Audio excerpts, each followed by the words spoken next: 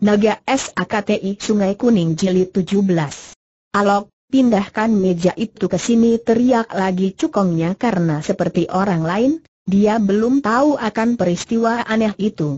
Hanya Alok sendiri yang merasakan keanehan itu. Dia, yang dengan mudahnya mengangkat dua orang pemuda tadi dan melemparkan mereka, kini tidak kuat mengangkat sebuah meja kecil yang ringan. Siapa yang akan dapat percaya? Hei, kerbau gila. Jangan ganggu nona itu ucapan ini keluar dari mulut seorang laki-laki yang duduk bersama dua orang pria lain di meja sebelah kanan Giok Chu. Mendengar dia dimaki kerbau gila, tentu saja Alok menjadi marah bukan main.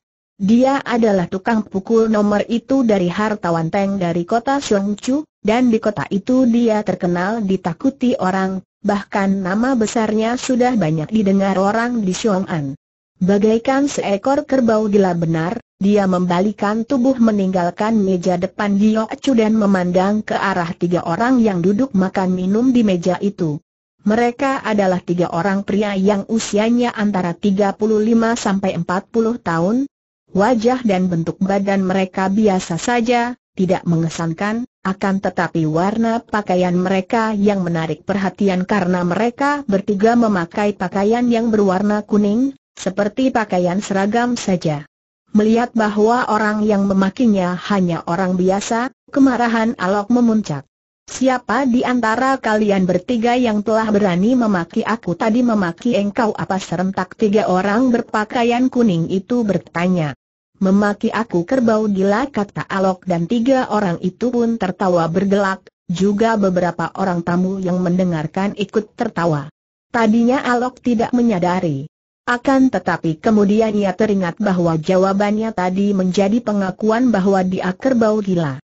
Dia telah dipancing dan dipermainkan tiga orang berpakaian kuning itu. Keparat, kalau kalian memang laki-laki dan bukan pengecut, hayo maju ke sini tantang Alok dengan marah sekali. Orang termuda dari tiga orang pria berpakaian kuning itu bangkit berdiri. Hem, kau ini kerbau gila hendak jual lagak di sini, Ya tiba-tiba tangan kanannya bergerak dan nampaklah sebuah cambuk berwarna kuning emas. Tar-tar-tar cambuk itu mengeluarkan suara meledak-ledak dan sinar kuning emas menyambar-nyambar ke arah tubuh Alok. Raksasa itu terkejut dan mencoba mengelak, akan tetapi tetap saja ujung cambuk itu mematuk-matuk dan pakaiannya robek di sana-sini ditambah kulit tubuhnya nyeri seperti disengat lebah. Dia pun bergulingan ke tas lantai dan ketika dia sudah meloncat bangun, dia sudah mencabut golok besarnya. Dengan marah dia lalu menerjang ke arah orang yang memegang cambuk dan yang berdiri sambil tertawa-tawa itu. Akan tetapi, sebelum tubuhnya mendekat, si baju kuning itu sudah menggerakkan cambuknya lagi. Tar-tar-tar golok yang berada di tangan Alok terbang dan terlepas dari pegangannya, dan kembali dia menjadi bulan-bulanan lecutan cambuk itu yang bertubi-tubi. Pakaian Alok kini sudah tidak karuan lagi macamnya, dan mukanya bergaris-garis merah dan berdarah. Kim Bwe SM Ho, tiga harimau ekor emas terdengar seorang di di antara lima tukang pukul hartawan Teng dari Xiong Chu itu berseru dan barulah Alok sadar bahwa yang dihadapinya adalah tiga orang tokoh besar yang terkenal lihai dan ditakuti semua orang Kang Ou di daerah itu. Bagus, kalian sudah mengenal kami kata si baju kuning yang menghajar Alok tadi. Hayo cepat kalian pergi dan cambuknya kembali menyambar-menyambar, kali ini ke arah hartawan Teng dari empat orang tukang pukulnya yang lain. Mereka mengadu-ngadu dan setelah cambuk itu berhenti menari-nari, lima orang itu masing-masing mendapat tanda guratan melintang pada muka mereka, guratan yang cukup dalam sehingga nampak merah dan ada pula yang berdarah. Tanpa banyak cakap lagi hartawan Teng dan lima orang tukang pukulnya meninggalkan restoran itu dan membayar ruang makanan di luar. Yang paling parah adalah Alok sehingga dia harus dipapah oleh seorang rekannya. Tadi, banyak di antara para tamu yang ketakutan. Akan tetapi setelah enam orang itu pergi dan suasana kembali tenang, mereka melanjutkan makan dengan tergesa-gesa dan ada pula yang segera meninggalkan tempat itu. Akan tapi, Makanan yang dipesan Giok Chu baru tiba dan gadis itu pun makan minum dengan tenangnya, seolah-olah tidak pernah terjadi sesuatu di dekatnya. Hanya diam-diam ia memperhatikan tiga orang berpakaian kuning yang disebut Kim BWSM Ho itu, dan merasa penasaran karena tidak suka melihat kekejaman mereka ketika menghajar enam orang tadi. Si raksasa tadi memang pantas dihajar, akan tetapi lima orang lainnya tidak melakukan sesuatu yang pantas membuat mereka menjadi korban cambuk. Juga ia melihat kesombongan membayang di wajah tiga orang berpakaian kuning itu, apalagi ketika mereka itu memandang kepadanya dengan senyum yang angkuh namun tetap saja mengandung kegenitan. Hem, cantik dan manisnya memang mengagumkan.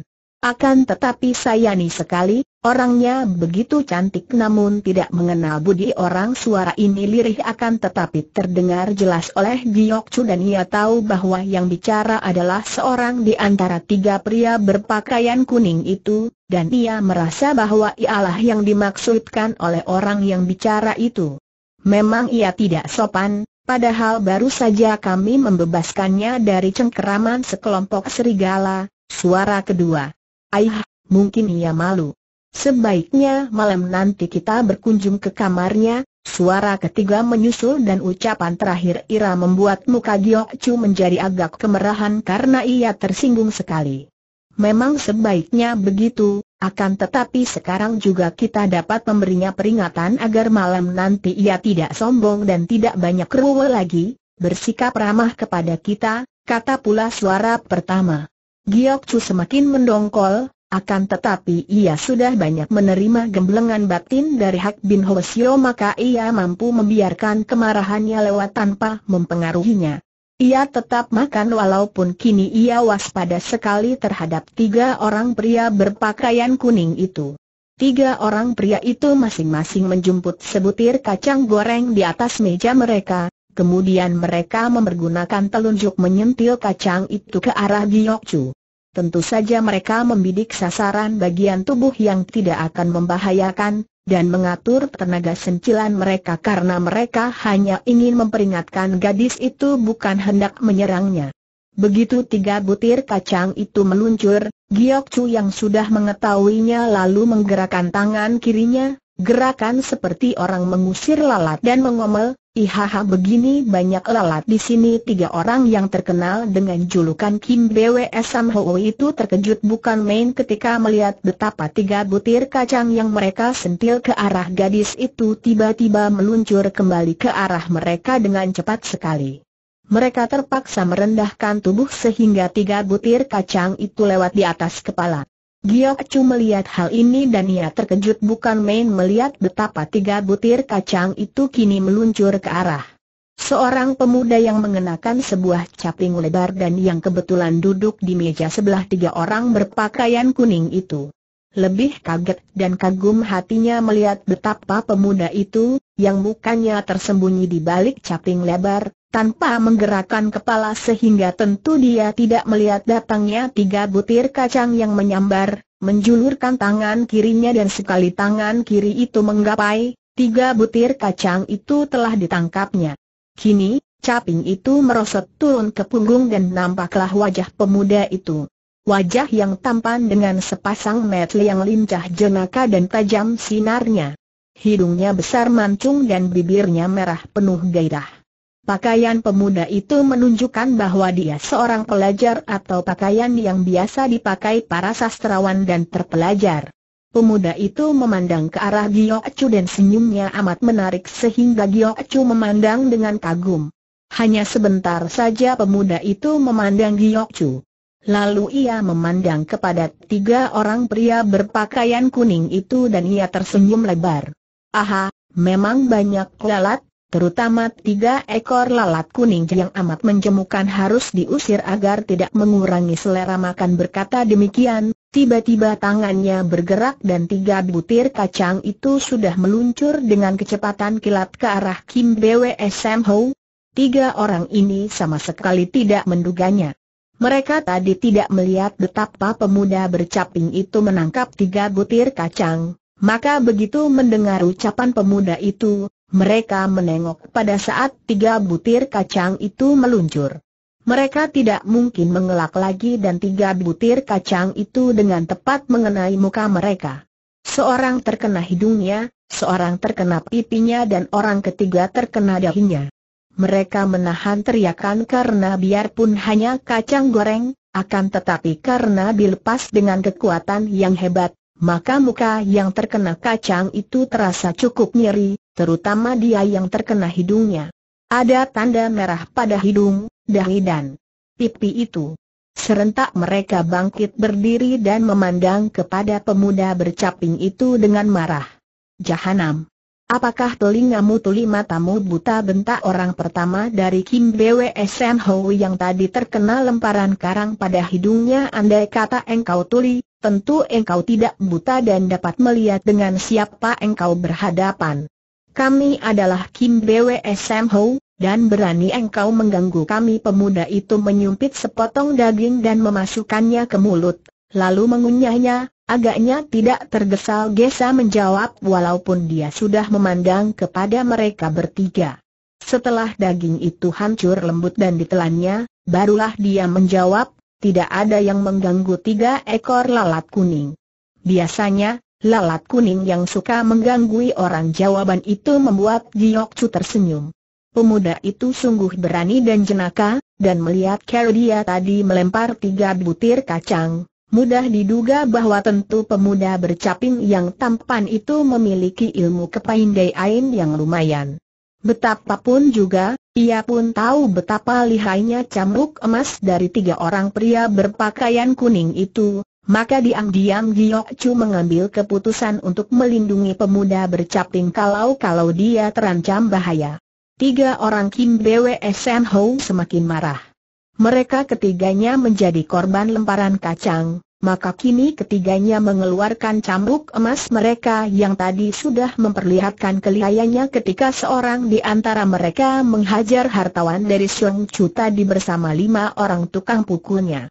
Melihat ini, para tamu yang masih berada di situ, menjadi ketakutan dan mereka yang mejanya berdekatan, segera meninggalkan meja walaupun makanan mereka belum habis. Kini yang nampak di bagian ruangan itu hanyalah si pemuda bercaping, Giok Chu, dan tiga orang pria berpakaian kuning itu. Giok Chu masih tenang-tenang saja. Makan nasi dan bakminya, seolah-olah tidak terjadi sesuatu di depannya. Tiga orang Kim Bwe Sen Ho sudah bangkit berdiri dan berjajar menghadapi pemuda bercaping yang masih duduk dengan tenangnya, biarnya terkesan mengejek dan matanya yang jenaka memandang kepada tiga orang yang marah-marah itu. Keparat. Bangkitlah dan lawanlah kami kalau engkau memang laki-laki tentang seorang di antara Kim BWS Sam. Tiba-tiba, pemilik rumah makan itu datang berlari-lari, lalu sambil membungkuk-bungkuk kepada Kim BWS Sam dia berkata, suaranya jelas membayangkan ketakutan mohon dengan hormat agar Sam Wei, Chuan bertiga, menghentikan keributan ini, baru saja pemilik rumah makan bicara sampai di situ, orang termuda dari Kim Bwe Sam Ho yang tadi terkena lemparan kacang tepat pada hidungnya membentak, tutup mulutmu. Apak engkau ingin pula merasakan kerasnya cambukku orang itu bertubuh tinggi kurus seperti pohon bambu, dan hidungnya besar maka mudah menjadi sasaran lemparan kacang tadi. Akan tetapi pemilik rumah makan itu tidak mau pergi, melainkan memberi hormat dan berkali-kali mengangkat kedua tangan ke depan dada dan mengangguk-angguk. Harap Eng Hiong, orang gagah, tidak marah dan dengarkan dulu keterangan saya. Ruangan ini akan dilukai oleh rombongan Chang Tai Jin, pesanan mendadak dan itu rombongannya sudah hampir tiba di sini. Silakan Cui, Anda sekalian, pindah ke ruangan samping dan harap jangan membuat keributan. Mendengar bahwa ruangan itu akan dipergunakan rombongan Chang Tai Jin, sikap tiga orang jagoan itu berubah. Mereka adalah tiga orang yang menjadi kaki tangan atau pembantu utama dari pembesar itu, walaupun hanya sebagai orang-orang sewaan apabila diperlukan, bukan pegawai resmi. Maka, tentu saja mereka tidak berani membantah lagi dan biarpun mereka bertiga melotot ke arah pemuda yang masih mengenakan caping merahnya itu, namun mereka tidak berani lagi membuat ribut, bahkan mereka ikut pula menyambut keluar rumah makan karena rombongan itu sudah datang didahului oleh pasukan pengawal. Pemuda bercaping merah itu hanya mengangguk ketika pelayan menghampirinya dan minta dengan hormat agar disuka pindah duduk di ruangan samping biarlah kami yang akan memindahkan hidanganmu, Kongcu, Chuan muda, kata para pelayan. Juga beberapa orang pelayan menghampiri Giok Chu dan menawarkan hal yang sama. Melihat pemuda itu mengangguk, Giok Chu yang masih ingin tahu kelanjutan dari pertengkaran tadi, juga karena memang ia belum selesai makan, mengangguk. Hatinya memang mendongkol terhadap gangguan itu karena baginya tidak pada tempatnya kalau para tamu rumah makan umum harus mengalah terhadap pembesarian mana pun juga. Akari tetapi, ia tidak dapat menyalahkan pemilik rumah makan yang tentu saja takut dan tunduk terhadap pejabat setempat yang berkuasa penuh. Kebetulan sekali, tanpa disengaja karena mereka berada dalam keadaan panik dan tegang sehubungan dengan peristiwa keributan tadi yang disusul kunjungan rombongan Chang Tai Jin yang tiba-tiba, para pelayan itu memindahkan hidangan Giok Chu di atas sebuah meja yang bersebelahan dengan meja pemuda bercaping merah itu. Dan agaknya tanpa disengaja, mereka duduk saling berhadapan, terhalang kedua buah meja. Ketika Giok Chu mengangkat muka memandang, ia bertemu pandang dengan sepasang metu yang amat tajam mencorong dan bagian hitam metu itu amat hitam sehingga menambah ketajaman pandang metu itu. Sejenak saja mereka saling pandang, sinar mati mereka bertaut, kemudian pemuda bercaping merah itu tersenyum dan bangkit berdiri sambil mengangkat tangan ke depan dada dan menjura. Aku mohon maaf, Nona, bukan maksudku hendak bersikap kurang ajar karena berani menyapamu, akan tetapi agaknya memang nasib telah mempertemuan kita dengan peristiwa tadi. Aku Ken Hang San merasa berbahagia sekali dapat bertemu dan berkenalan dengan Nona yang memiliki ilmu kepandaian tinggi, kalau saja kata-kata dan sikap pemuda bercaping merah itu menunjuk kekurang ajaran, sudah pasti Giok Chu tidak akan sudi melayaninya. Akan tetapi, Pemuda bernama Chan Hang San itu bersikap amat sopan, bicaranya halus kata-katanya indah menunjukkan bahwa dia terpelajar, maka ia pun merasa senang dan tidak enak kalau tidak melayani. Giok Chu bangkit berdiri pula dan membalas penghormatan orang. Terima kasih, saudara Ken Hosan engkau terlalu memuji. Namaku Giok Chu dan aku pun girang dapat berkenalan dengan engkau, Sepasang mata yang hitam tajam itu berkilat tanda bahwa dia bergembira sekali. Hang San mengisi cawannya dengan arak, kemudian mengangkat cawan itu sambil memandang kepada Giok Chu. Nona Bu Giok Chu, maukah engkau menghabiskan secawan arak bersarnak untuk menghormati perkenalan kita ini? Giok Chu tersenyum. Ia pun mengisi cawannya dengan anggur dan mereka berdua mengangkat cawan masing-masing sambil tersenyum dan minum isinya sampai habis. Setelah menurunkan kembali cawan kosong di atas meja, Hang San mengangguk hormat. Terima kasih, Nona Bu. Engkau sungguh berbudi dan ramah sekali, di samping gagah perkasa, Giok Chu tersenyum, akan tetapi sama sekali tidak memperlihatkan wajah girang mendengar pujian itu. Harap jangan terlalu memuji pada saat itu, Terdengar canang dipukul dan nampaklah serombongan pasukan pengawal memasuki pintu depan rumah makan dan mereka berdiri berbaris di sepanjang pintu masuk. Kepala pasukan pengawal masuk dan berseru kepada pemilik rumah makan yang menyambut tergopoh-gopoh.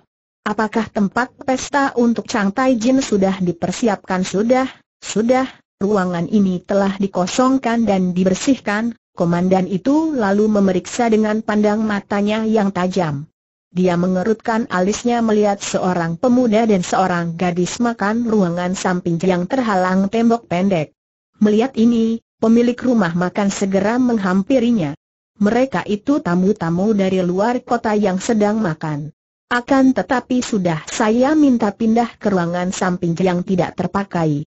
Ruangan ini saya kira sudah cukup luas untuk rombongan Chang Tai Jin, karena pemuda dan gadis itu tidak mendatangkan kesan berbahaya, komandan itu mengangguk, lalu keluar lagi. Tak lama kemudian, terdengar bunyi kaki kuda dan roda kereta, dan sebuah kereta besar berhenti di depan rumah makan Ho. Tin yang terkenal memiliki hidangan lezat dan juga merupakan rumah makan terbesar di kota Xiong'an. Seorang pria gendut berjenggot panjang turun dari kereta, dibantu oleh para pengawal. Usianya sekitar 50 tahun, dari pakaiannya mewah, pakaian seorang pembesar. Dia adalah Chang Taijin, kepala daerah kota Xiong'an yang berkuasa di kota itu dan sekitarnya. Para pengawal itu nampaknya amat hormat kepadanya ketika membantunya turun dari kereta, Bahkan ada yang cepat berlutut membersihkan sepatu pembesar itu dari debu, menggunakan lengan bajunya. Akan tetapi pembesar itu sendiri agaknya tergesa-gesa, mendorong para pengawal yang membantunya setelah dia berada di bawah kereta, kemudian dia sendiri menyingkap tirai kereta sambil membungkuk hormat dan berkata dengan suara merendah, silakan, Taijin, silakan turun dari kereta. Mari, Pergunakan kedua tangan saya untuk berpijak. Chang Tai Jin sudah merangkap kedua tangan agar menjadi tempat berpijak bagi orang yang hendak turun, karena dari kereta ke atas tanah memang agak tinggi sehingga tanpa pijakan perantara, akan menyulitkan bagi seorang pembesar yang mengenakan pakaian kebesaran. Sebuah kepala menguak keluar dari tirai dan nampaklah tubuh seorang pria berusia 55 tahun yang kurus tinggi, wajahnya dingin berwibawa. Melihat sikap Chang Taijin yang menjadi tuan rumahnya, pembesar tinggi kurus itu menggeleng kepalanya. Harap Chang Taijin jangan repot-repot, biar pengawalku saja yang membantuku turun. Dia lalu memberi isyarat kepada seorang pengawal yang bersama 12 orang anak buahnya mengawal di belakang kereta itu. Komandan pengawal itu cepat berlari menghampiri dan dia membantu pembesar tinggi kurus itu turun dari kereta. Sambil membungkuk-bungkuk penuh hormat, dengan mulut menyeringai, kini pembesar setempat yang menjadi tua rumah. Itu mempersilakan tamunya untuk memasuki rumah makan. Tamunya itu disebut Liu Taijin, pembesar Liu, yang berpangkat lebih tinggi dan datang dari kota raja, melakukan tugasnya sebagai utusan jaksa tinggi di kota raja untuk melakukan inspeksi dan penyelidikan terhadap para pejabat di daerah. Semua pejabat sudah mendengar bahwa jaksa tinggi mengutus seorang petugas melakukan penyelidikan di sepanjang sungai Kuning, maka tentu saja setiap kali datangi sebuah kota, dia disambut dan dielulukan oleh para pejabat daerah apalagi tugasnya itu sungguh amat mendatangkan rasa takut dalam hati para pejabat. Ketika dua orang pembesar ini memasuki ambang pintu, mereka disambut oleh pemilik rumah makan dan semua karyawannya. Yang disambut adalah Chang Taijin, karena mereka semua tentu saja ikut kepada kepala daerah ini. Selamat datang, Chang Taijin yang dia seru pemilik rumah makan itu, diikuti oleh para karyawannya dan ikreka semua berlutut, seperti menghadap seorang kaisar saja melihat penyambutan ini, sejenak Chang Taijin tersenyum menyeringai dengan girang, akan tetapi segera dia tergopoh-gopoh berkata, Jangan memberi hormat kepadaku saja. Hayo cepat kalian sambut dengan penuh kehormatan kepada Liu Taijin dari kota raja ini melihat sikap pembesar setempat itu demikian hormatnya kepada tamunya, pemilik rumah makan dan para karyawannya terkejut, Maklum bahwa tentu pembesar tinggi kurus yang disebut Liu Taijin itu lebih tinggi pangkatnya. Selamat datang, Liu Taijin yang mulia mereka berseru dan kini mereka memberi hormat kepada Liu Taijin. Pembesar tinggi kurus itu menggerakkan tangan kanannya dengan sikap tak sabar. Sudahlah, kalian bangkitlah bekerja katanya. Pemilik rumah makan dan para karyawannya segera Bangkit dan dua orang tamu agung itu persilakan duduk di tempat kehormatan. Sebuah kereta kedua muncul dan turunlah sepuluh orang gadis cantik dengan pakaian warna-warni, mereka masuk diikuti oleh serombongan penabuh musik. Segera tempat itu penuh dengan bau harum yang keluar dari pakaian para penari dan penyanyi itu, dan tak lama kemudian, setelah semua pemain musik dan gadis penghibur itu memberi hormat kepada dua orang pejabat tinggi, terdengar suara musik mengiringi nyanyian dan tarian para gadis itu. Pesta pun dimulai, hidangan lezat yang masih mengepul panas dikeluarkan dan dua orang pembesar itu mulai makan minum sambil menonton tarian lemah gemulai dan nyanyian yang merdu merayu. Suasana menjadi gembira sekali. Para pasukan pengawal menjaga tempat itu dengan ketat. Bahkan orang-orang yang menonton di luar rumah makan, diusir pergi. Tamu-tamu baru hanya diperkenankan masuk melalui pintu samping yang langsung menuju ke ruangan samping di mana Gio Chu dan Hang San masih duduk. Mereka sudah selesai makan, akan tetapi memperpanjang waktu duduk mereka dengan memesan tambahan minuman dan makanan kecil. Sejak tadi, kedua orang muda ini nonton pertunjukan yang mereka anggap amat menarik itu. Para penyanyi dan penarinya, selain cantik-cantik, juga pandai. Mereka adalah gadis-gadis penghibur yang paling terkenal, didatangkan Chang Taijin dari lain kota dengan bayaran mahal. Tiba-tiba pemuda bercaping lebar tertawa lirih sehingga Giok Chu menengok dan memandang kepadanya. Pemuda itu sedang memandang ke arah dua orang pembesar, dan seolah-olah dia tahu bahwa suara tawanya itu menarik perhatian Giok Chu, karena dia segera berkata Nonabu, lihat, Bukankah pembesar gendut itu sungguh merupakan seorang penjilat besar? Orang sekitarnya bersikap hormat dan menjilat kepadanya, dan lihai sikapnya ketika menemani dan melayani. Pejabat tinggi kurus itu menjilat-jilat yang berlebihan sekali kembali Hosan tertawa lirih dan melanjutkan. Dia seperti seekor babi gemuk yang mendengus-dengus, haha Giok Chu juga tersenyum geli. Mereka berani bicara lirih karena kegaduhan dan nyanyian itu membuat mereka dapat leluasa bicara tanpa khawatir terdengar dua orang pembesar itu. Hem, orang yang suka menjilat ke atas biasanya suka pula menginjak ke bawah. Contoh seorang pembesar yang korup dan sewenang-wenang mengandalkan kekuasaannya Giokchu berkata dengan sikap muak membayangkan sikap sebagian besar pembesar yang wataknya seperti itu. Aku ingin sekali melihat mereka semua itu telanjang Hang San kembali tertawa. Giok Chu memandang kepadanya dengan alis berkerut. Telanjang?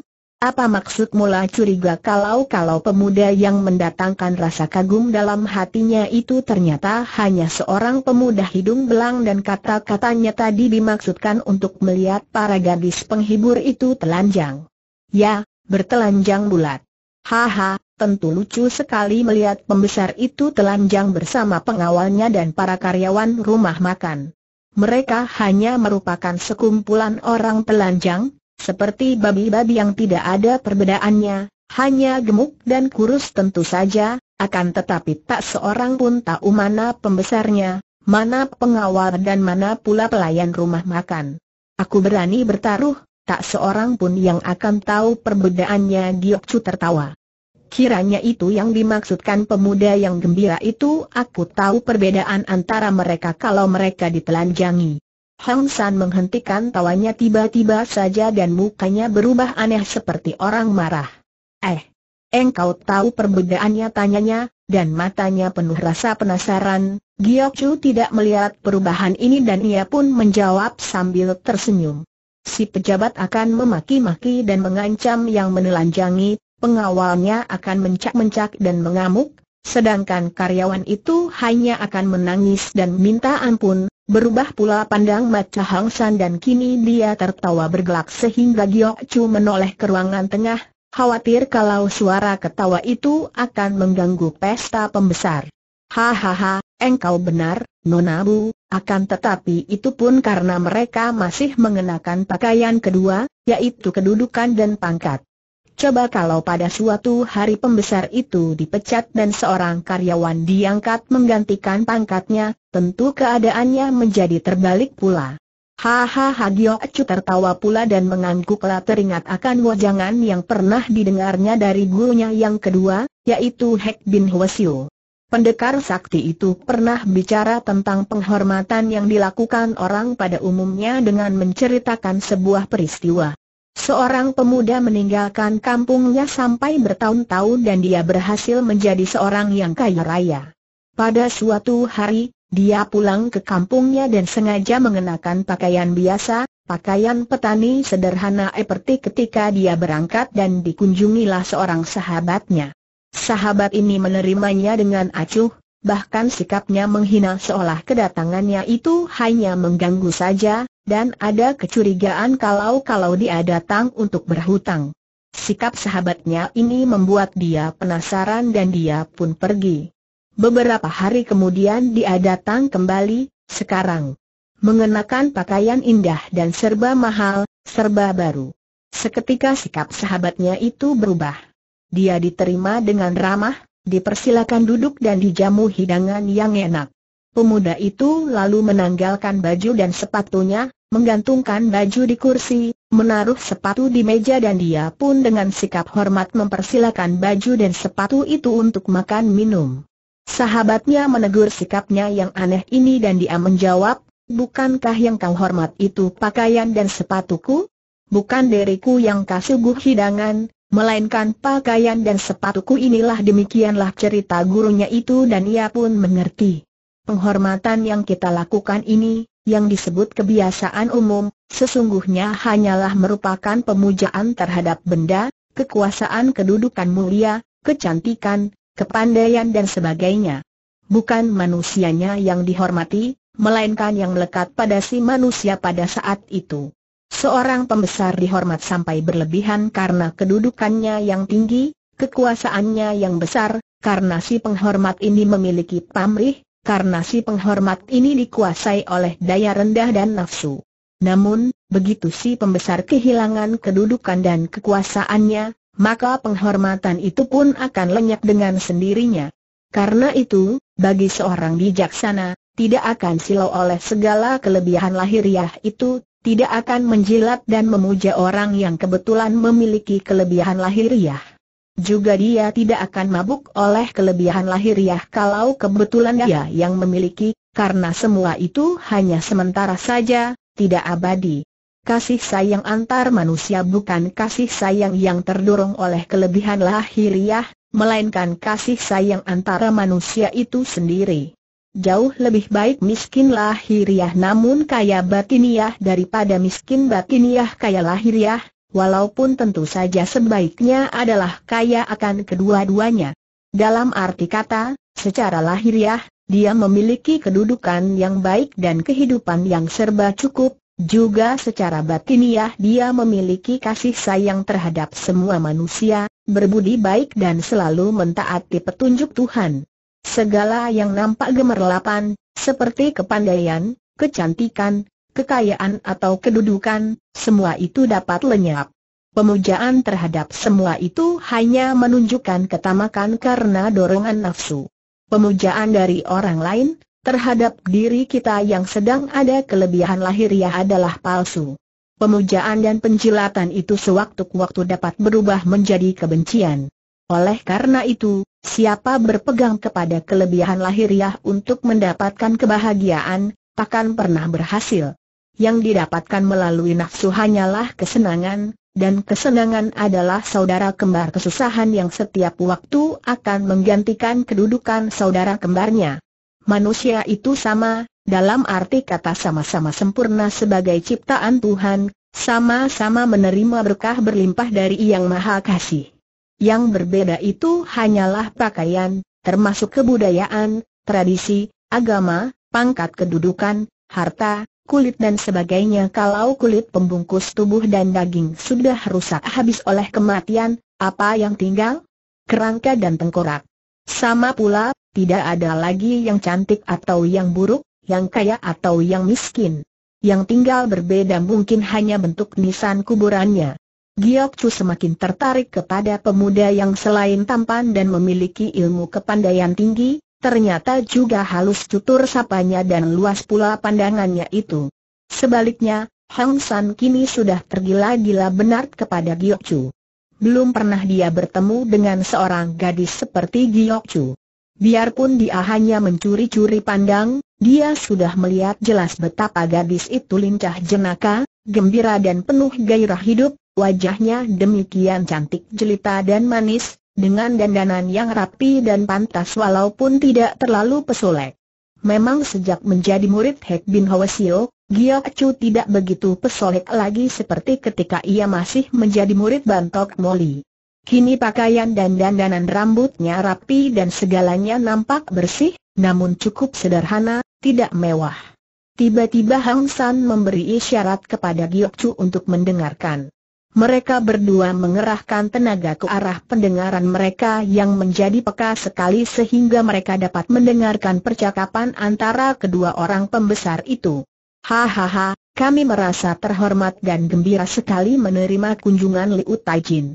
Seperti Taijin lihat, keadaan di sini baik-baik saja, semua pekerjaan berjalan dengan lancar dan kami selalu berusaha sekuat tenaga untuk melaksanakan pemerintahan yang baik, Antara lain Chang Taijin berkata dengan menyeringai, sikapnya merendah dan menjilat. Wajah yang dingin dari Liu Taijin tidak berubah, akan tetapi matanya menatap tajam wajah tuan rumah, lalu terdengar dia berkata, akan tetapi bagaimana dengan pelaksanaan pengumpulan tenaga kerja untuk melancarkan jalannya pembangunan terusan, Chang Taijin? Ah, hal itu juga terjadi dengan lancar dan baik-baik saja. Bukankah kami telah mengirim ribuan orang pekerja dari daerah kami ini ke tempat pembangunan terusan? Kami sudah membantu banyak, lalu apa artinya berita yang kami terima tentang pemaksaan tenaga kerja, penekanan dan uang tebusan bagi mereka yang mampu membayar agar terbebas dari tenaga paksaan kini sepasang mata pembesar tinggi kurus dari kota raja itu menatap wajah tuan rumah penuh selidik. Sejenak wajah si pembesar gendut itu berubah agak pucat, akan tetapi dia lalu membungkuk-bungkuk dan menyeringai lebar, lalu berkata lebih lirih. Air, Liu Taijin yang mulia, tidak perlu mempercayai kabar angin seperti itu. Tidak pernah terjadi hal demikian. Memang. Ada beberapa orang yang kami hukum, akan tetapi mereka itu memang membandel dan memberontak menghasut penduduk agar tidak membantu pemerintah. Padahal, kami selalu menyerahkan uang bagi mereka yang menjadi sukarelawan membangun terusan, sesuai dengan perintah atasan kami di kota raja, hmm, mudah-mudahan saja benar apa yang engkau katakan itu, Chang Taijin, kata Liu Taijin, sikapnya tetap dingin seperti juga wajahnya. Air, Liu Taijin tentu lebih percaya kepada laporan saya daripada laporan orang-orang yang tidak suka kepada saya bukan? Kami percaya atas kebijaksanaan Liu Taijin agar kelak melaporkan ke kota raja bahwa semua tugas sudah kami laksanakan dengan sebaiknya. Untuk kebaikan hati Liu Taijin ini, kami tentu tidak akan melupakannya. Liu Taijin, sekarang juga kami telah menyediakan bekal untuk Taijin dalam perjalanan pulang, disertai pula dua orang teman seperjalanan yang masih gadis dan merupakan kembang dari seluruh gadis penghibur di daerah kami. Silakan Taijin melihat dan berkenalan dengan mereka berkata demikian, Chang Taijin lalu memberi isyarat kepada seorang pengawalnya. Pengawal ini cepat keluar dari rumah makan dan tidak lama kemudian dia pun kembali mengantar dua orang gadis yang berusia antara 15 dan 18 tahun, berwajah cantik berkulit putih mulus. Selain dua orang gadis itu, ada empat orang pengawal menggotong sebuah peti yang kelihatan berat. Chang Taijin menyuruh dua orang gadis itu duduk di atas bangku di kanan kiri Liu Taijin. Sebagai dua orang gadis hiburan yang terlatih baik, walaupun mereka masih gadis, dua orang itu dapat menyuguhkan arak dan menyumpitkan daging dengan gaya yang manis memikat. Kemudian, Chang Taijin menyuruh pengawal membuka tutup peti dan nampaklah barang-barang yang amat berharga di dalam peti itu, bongkahan-bongkahan emas dan perak, juga gulungan sutra. Dan perhiasan yang serba mahal, hanya sebentar saja peti itu dibuka, lalu ditutup kembali. Liu Taijin mengelus jenggotnya, tersenyum dingin biarpun dia pit dua orang gadis yang hangat. Hem, apa artinya pemberian ini, Chang Taijin? Apa yang telah kulakukan maka engkau memberi hadiah sebanyak ini Chang Taijin menyeringai. Air, Taijin yang mulia. Sumbangan ini tidak ada harganya kalau dibanding dengan jasa Taijin membuat laporan yang baik ke kota raja tentang pekerjaan saya.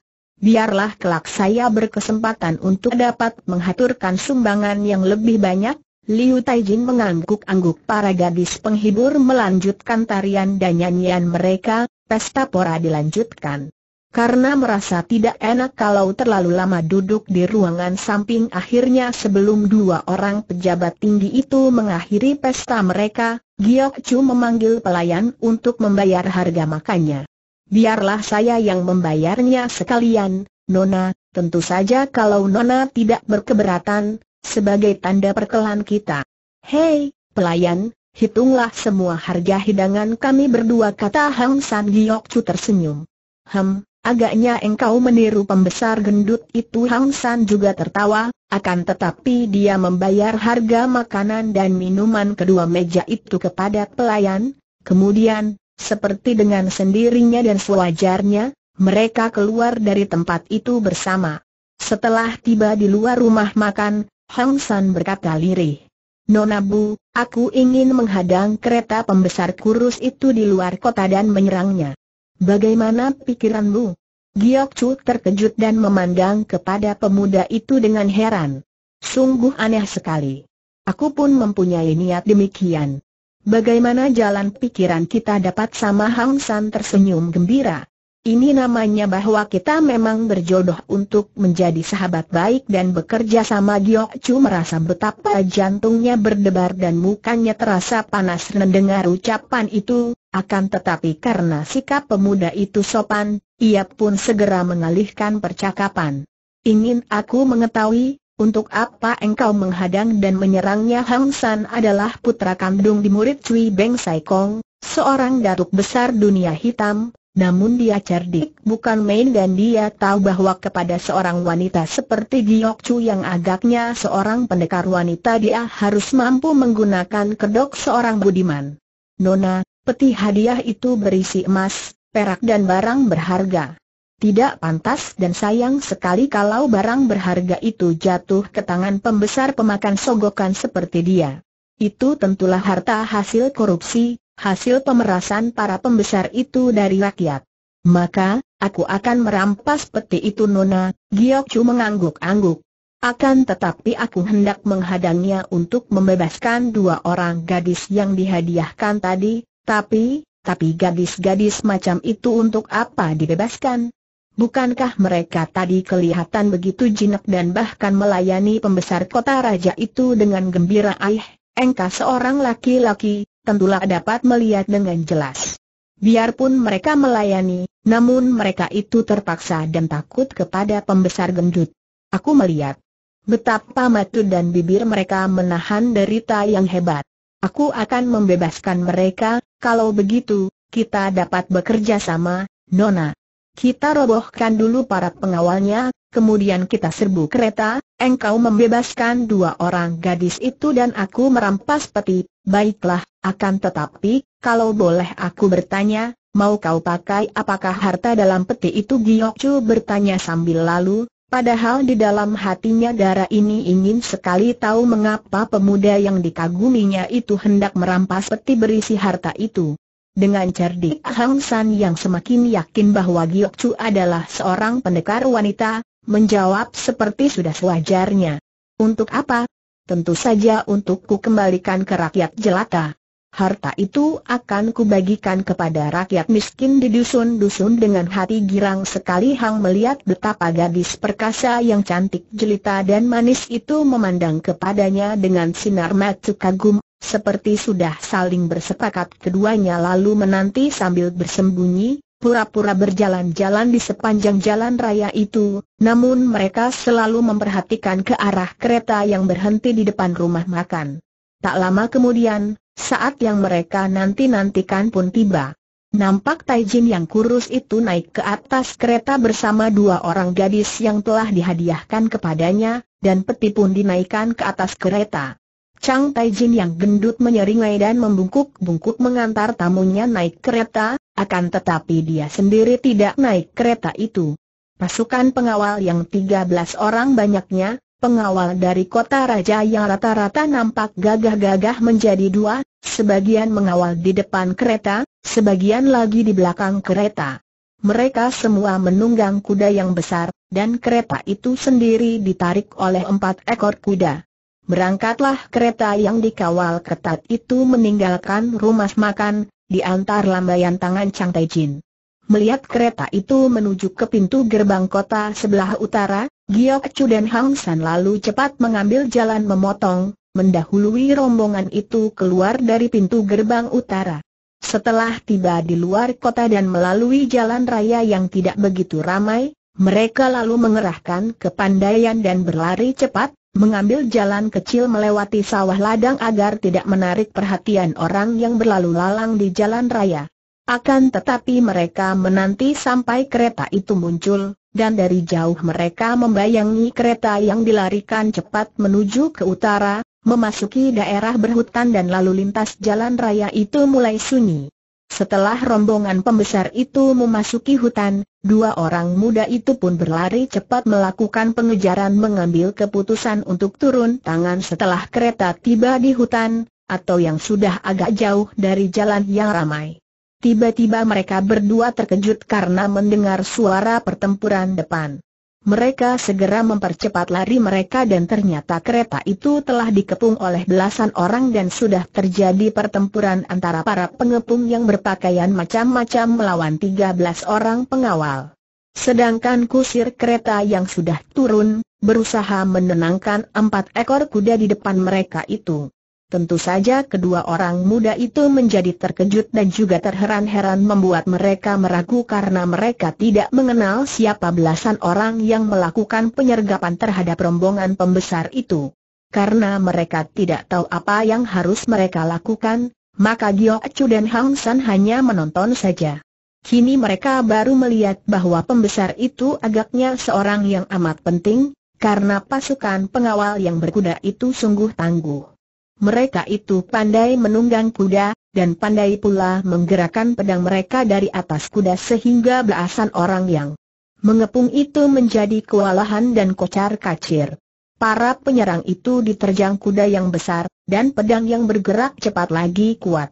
Namun, dua orang muda itu pun dapat melihat bahwa belasan orang penyerang itu bukanlah orang-orang biasa, melainkan rata-rata memiliki ilmu silat yang baik.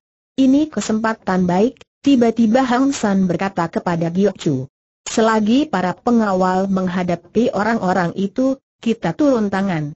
Kau bebaskan dua orang gadis itu dan aku akan mengambil peti itu dan kita bunuh saja pembesar korup tukang makan sogokan itu jangan tiba-tiba Giok Chu berkata agak ketus sehingga mengejutkan hati Hang San tidak boleh membunuhnya memang semenjak menjadi murid Hek Bin Hwasyo selama lima tahun Giok Chu sudah mendapat gembleng batin dari Hwasyo itu sehingga ia tidak merasa tega untuk membunuh orang. Gurunya itu menanamkan perasaan kasih sayang di dalam hatinya terhadap semua orang, dan yang ia tentang hanyalah perbuatan jahat, bukan orangnya. Maka, ia mau memberi hajaran kepada orang jahat agar orang itu bertobat dan tidak berani melakukan kejahatan lagi, bukan membunuhnya karena benci kepada orangnya. Hang San tersenyum, dan mengangguk. Dia mulai mengenal watak gadis itu. Gagah perkasa, cantik jelita, riang jenaka, pemberani akan tetapi juga berbudi luhur. Mari kita bergerak katanya setelah mengangguk menyetujui. Bagaikan dua ekor burung Garuda, Hang San dan Giok Chu meloncat seperti melayang saja, menuju ke arah kereta yang kini tidak terlindung karena 13 orang pengawal sibuk menghadapi pengeroyokan belasan orang itu. Akan tetapi pada saat itu, dari lain jurusan berkelebat pula bayangan orang yang tidak kalah cepat dan ringannya dibandingkan dua orang muda itu. Baru saja Giok Chu dan Hang San tiba di dekat kereta, terdengar bentakan nyaring. Perampok-perampok jahat dan muncullah seorang pemuda yang bertubuh tinggi besar, kokoh kuat dan tampan gagah. Mendengar bentakan ini dan melihat munculnya seorang pemuda yang gagah perkasa, Giok Chu dan Hang San terkejut. Saat itu dipergunakan oleh pemuda tinggi besar untuk berseru kepada kusir kereta. Kenapa engkau tidak cepat melarikan kereta ini, menyingkir dari sini, menyelamatkan majikanmu dan minta bantuan pasukan? Hayo cepat larikan kereta, biar aku menahan para perampok barulah kusir itu tergopoh-gopoh naik ke atas keretanya dan melarikan empat ekor kuda yang menarik kereta. Kereta bergerak ke depan dengan cepatnya. Hei, tinggalkan peti itu Hang San berteriak dan hendak mengejar, akan tetapi pemuda tinggi besar itu telah menghadangnya dengan mata menyam tajam. Sayang, begini tampan dan gagah menjadi perampok katanya. Melihat pemuda tinggi besar itu menghadang, dan mengeluarkan kata ejekan, mengatakan dia perampok, hati Hang San menjadi panas sekali. Engkau penjilat pembesar korup bentaknya dan tangan kanannya mengirim hantaman ke arah muka lawan dengan pengerahan tenaga yang dahsyat. Karena dia dapat menduga bahwa pemuda tinggi besar ini tentu lihai sekali, mungkin seorang jagoan dari kota raja yang bertugas melindungi Liu Taijin, maka dia pun begitu menyerang sudah mengerahkan tenaga saktinya sehingga dalam hantamannya itu terkandung kekuatan dahsyat yang dapat menghancurkan batu padas. Namun, pemuda yang diserangnya itu sama sekali tidak menjadi gugup, bahkan dia pun memutar lengan kirinya menangkis. Melihat lawannya menangkis Hang San sudah merasa girang karena jarang ada yang mampu mempertahankan tenaga pukulannya, maka lawan yang menangkis itu tentu akan patah tulang tangannya atau setidaknya akan terpental atau roboh terbanting. Akan tetapi, tidak demikianlah dugaan Giok Chu. Gadis ini melihat betapa kedudukan kaki pemuda tinggi besar itu kokoh kuat, dan betapa sikapnya yang tenang itu membayangkan kekuatan dahsyat, maka dengan hati berdebar ia menanti bagaimana kelan lajutan adu tenaga antara Hang San yang juga belum diketahuinya benar tingkat kepandaiannya, dengan pemuda tinggi besar itu. Wajah pemuda tinggi besar yang tampan gagah itu seperti wajah yang tidak asing baginya, namun ia sama sekali tidak dapat mengingat di mana ia pernah bertemu dengan pemuda itu. Mungkin seorang di antara tamu gurunya yang pertama, yaitu Bantok Moli. Seorang teman Bantok Moli sudah pasti bukan orang baik-baik, dan tidak aneh kalau menjadi jagoan pengawal seorang pembesar koruptor besar yang kaya raya. Duk dua buah lengan bertemu dan tubuh Hang San terhuyung ke belakang, sedangkan tubuh pemuda tinggi besar itu tetap kokoh, sama sekali tidak terguncang. Hal ini amat mengejutkan Hang San dia tadi merasa betapa lengannya bertemu dengan lengan yang bagaikan baja kuatnya, dan tenaganya menyambut tenaga pukulannya juga amat dahsyat sehingga dia tidak mampulah mempertahankan kedua kakinya sehingga terhuyung ke belakang. Marahlah Hang San dan dia pun mencabut pedang dengan tangan kanannya. Giok Chu juga melihat adu tenaga itu dan ia hanya menganggap bahwa mungkin tenaga Hang San belum begitu kuat. Dan melihat betapa dalam adu tenaga itu Hang San terhuyung ke belakang, ia pun menganggap bahwa lawan itu agaknya lebih lihai dari Hang San akan tetapi masih ingin melihat bagaimana kalau Hang San menyerang dengan pedangnya. Singgah pedang di tangan Hang San berubah menjadi sinar menyambar dahsyat, Lalu sinar pedang itu bergulung-gulung bagaikan ombak samudera menerjang ke arah lawannya. Barulah Giok diam-diam terkejut dan kagum. Ilmu pedang Hang San ternyata amat hebat. Bukan sembarang orang dapat menggerakkan pedang seperti itu, dan tentu tadi pun Hang San telah mengerahkan sinkang yang kuat. Mulailah Giok Chu menduga bahwa jagoan muda yang melindungi pembesar korup itu tentu memiliki kepandaian yang hebat pula. Karena pemuda tinggi besar itu tidak memegang senjata, maka dia lalu melolos sabuknya yang terbuat dari sutra putih.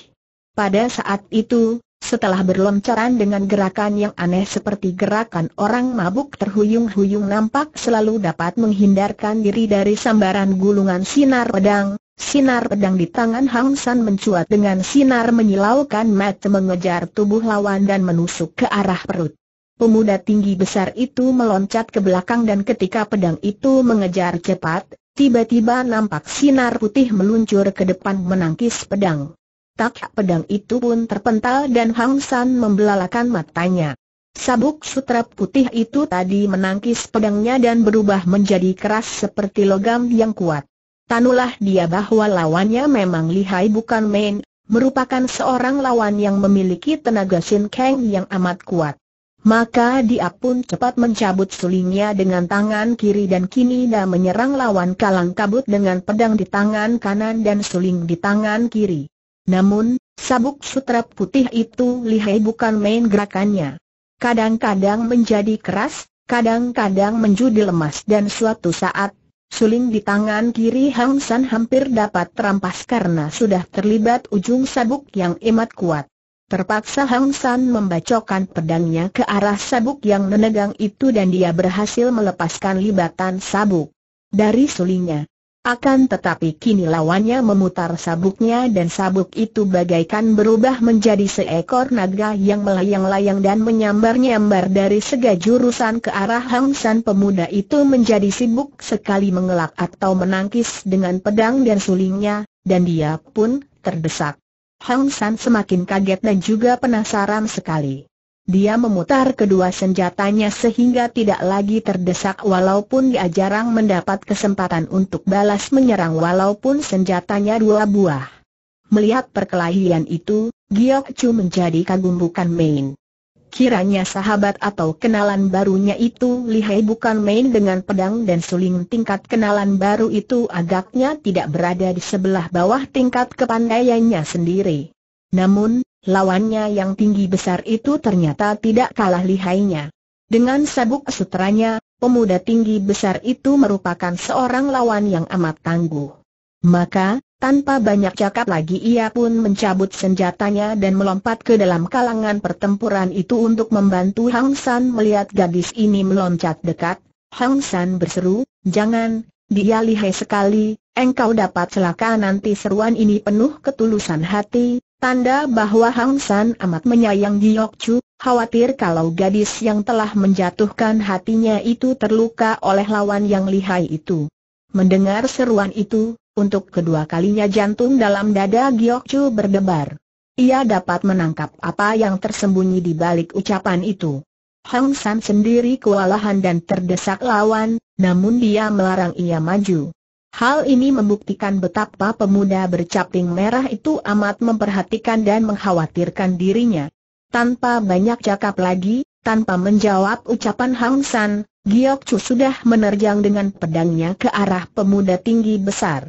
Pemuda itu sedang mendesak Hang San dan tiba-tiba dia merasa ada angin dahsyat menyambar diikuti suara mencuit nyaring dan melihat ada sebatang pedang mencuat dan meluncur masuk di antara lingkaran sinar sabuknya.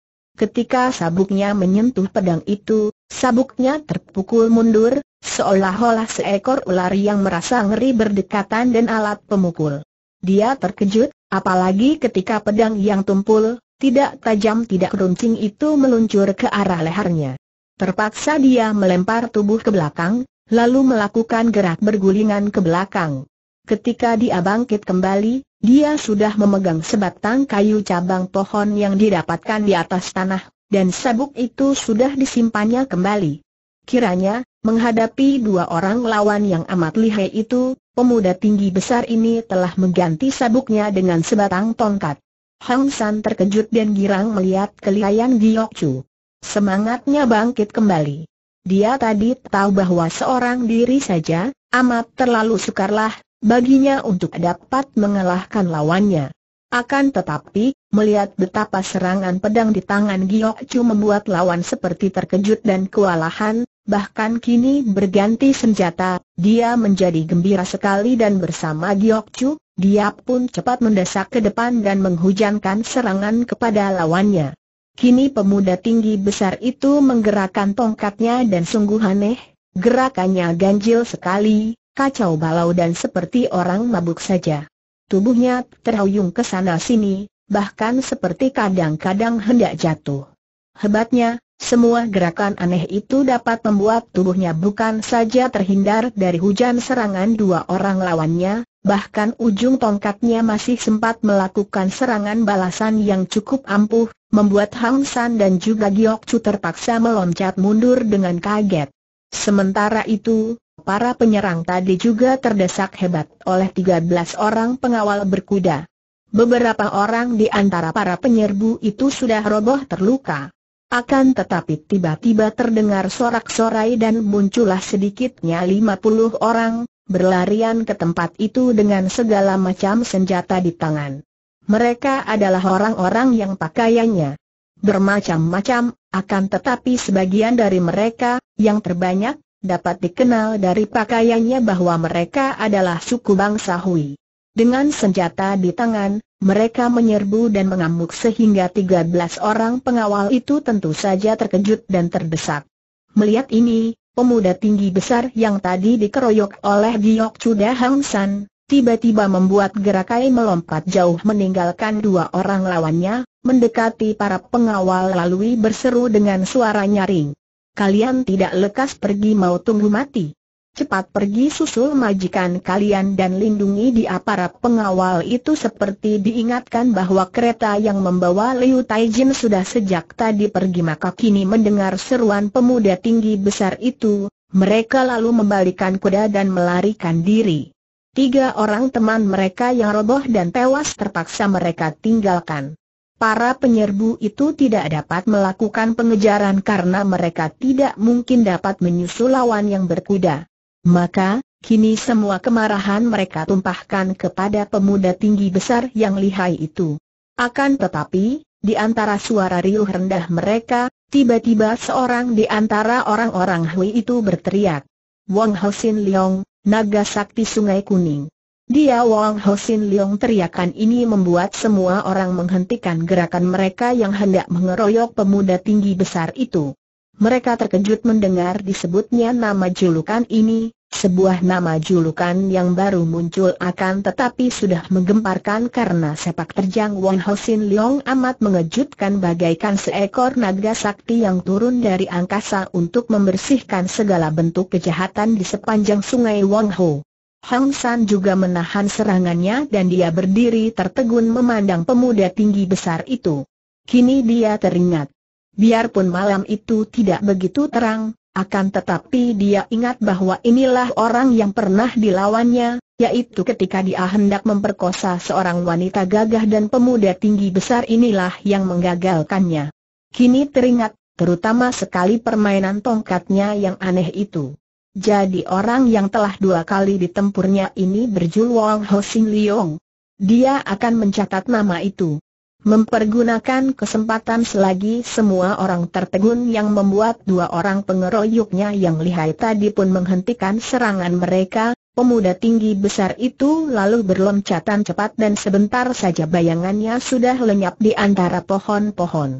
Kalau saja Giok Chu tahu siapa pemuda itu, siapa Wong Hosin Leong itu.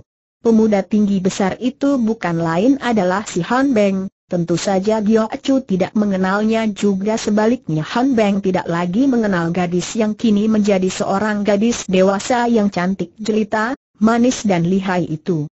Ketika mereka saling berpisah, Han Beng berusia 12 tahun dan Giok Chu baru berusia 10 tahun, dan 12 tahun telah lewat sejak mereka saling bertemu dan menjadi sahabat. Kini semua orang yang tadi menyerang kereta, juga puluhan orang Hui yang datang membantu, memandang kepada Gio Chu dan Hang San tiga orang di antara mereka, yaitu seorang yang memimpin orang-orang Hui, dan dua orang yang memimpin penyerangan pertama, sudah melangkah maju menghampiri dua orang muda itu. Mereka memberi hormat dan seorang di antara mereka berkata, Terima kasih atas bantuan Jiwi yang gagah perkasa. Akan tetapi sayang sekali bahwa sergapan kita terhadap pembesar lalim penindas rakyat itu gagal karena Wong Hosin Leong melindunginya. Siapakah kalian dan mengapa kalian menyerang kereta pembesar Liu itu? Giok Chu bertanya sambil memandang tajam kepada tiga orang itu. Tiga orang itu saling pandang, lalu orang yang menjadi wakil pembicara tadi tersenyum.